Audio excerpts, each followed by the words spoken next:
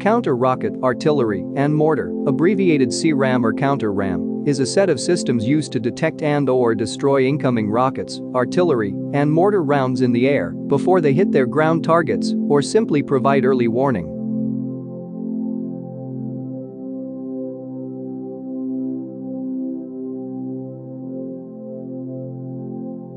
CRAM is not simply a single gun, rather it is made up of a variety of different systems which provide command and control capability, along with the ability to sense incoming rounds, warn, respond, and intercept.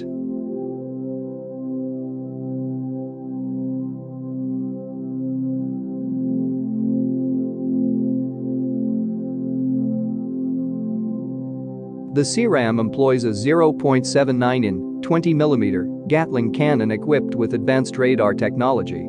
The CRAM is lightning quick, capable of firing 4,500 rounds per minute, and it can detect, intercept, and destroy projectiles before they reach their intended destination.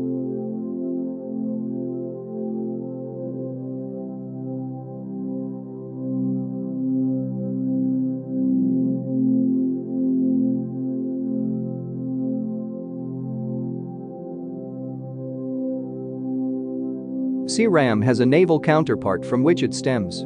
This counterpart is called the Phalanx Close-In Weapons System, or CIWS for short. CIWS proved extremely successful at deterring incoming artillery as well as opposing gunboats. One major difference between the land and sea-based systems is the choice of ammunition. The naval phalanx systems fire tungsten armor-piercing rounds, while the CRAM uses 20mm height South Dakota, high explosive incendiary tracer, self-destructing, ammunition.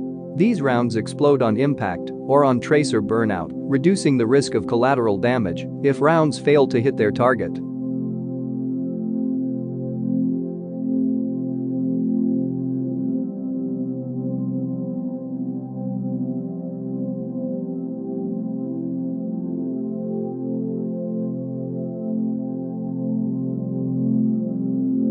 CRAM components include the Forward Area Air Defense Command and Control FAAD-C2, Land-Based Phalanx Weapon Systems LPWS, Lightweight Counter-Mortar Radars LCMR, Firefinder Radars, Ka-band Multi-Function Radio Frequency Systems MFRFS, Air and Missile Defense Workstation AMDWS, and several other components that contribute to system intercept and communications.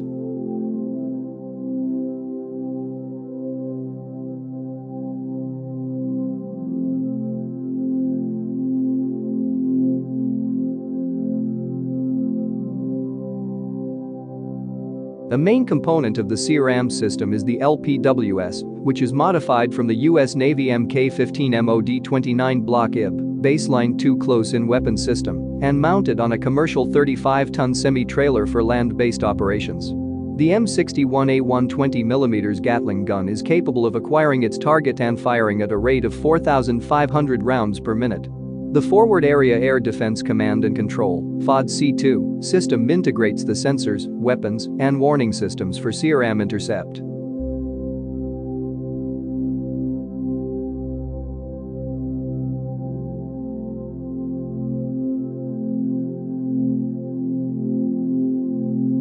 The first battle-ready CRAM system was deployed to Iraq in 2010 in order to protect the Green Zone, an area in Baghdad used as an American embassy. Trials of this system showed that it was capable of knocking out 70 to 80% of rockets and mortar shells fired within its area of control.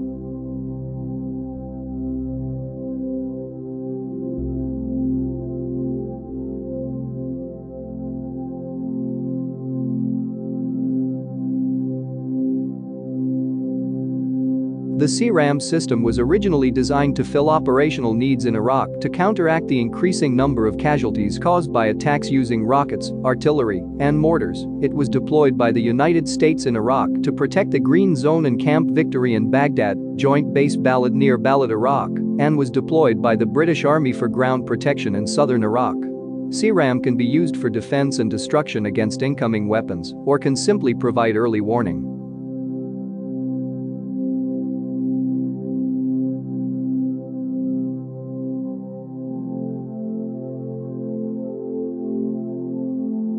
More recently, the Army and Northrop Grumman are exploring new sensors and interceptor weapons able to destroy enemy drones using ground-based systems designed to track and knock out approaching enemy fire from forward operating bases. CRAM is deployed at numerous forward operating bases throughout Iraq and Afghanistan and is now being analyzed for these upgrades and improvements.